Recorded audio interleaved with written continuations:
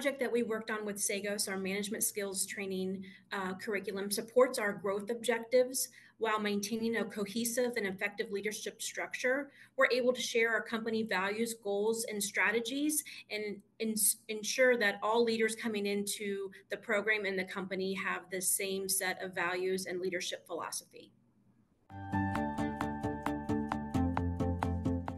So Cegos played a pivotal role in helping us meet our challenges by developing first a comprehensive 16 week virtual uh, session. Uh, this was designed to be accessible by all our managers worldwide. And then we pivoted um, after COVID to bring that hybrid approach into a three day in person, then a five day fully blended learning approach. We focused on what they could collaborate on as a team and as a cohort. So we focused on coaching and feedback and those things that could be replicated in the classroom and practice as real play to get instant feedback from their peers.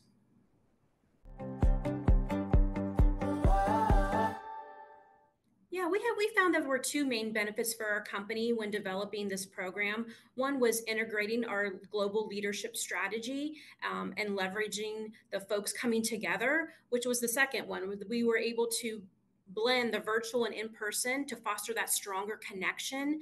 Um, we are a global company. We brought 12 different units together, and they were able to um, make that strong connection for more of a lifelong learning even after the program.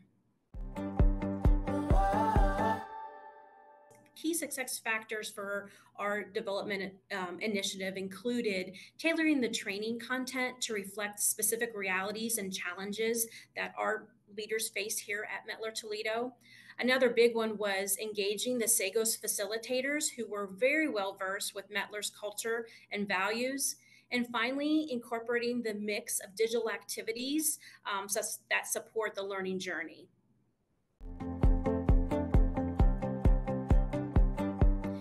Collaboration with Cegos was outstanding. First and foremost, from a listening perspective, I appreciate them listening to me um, based on what the needs are and how we've changed, right? So we went from a 16 week virtual to a hybrid model. And that all came from our learners saying, we want to be back in person and we want to make strong connections. So Cegos was very open and willing to listen and help shape the program um, and just just being that good partner um, and then we were able to pilot it and now it's it's running very very successfully in our company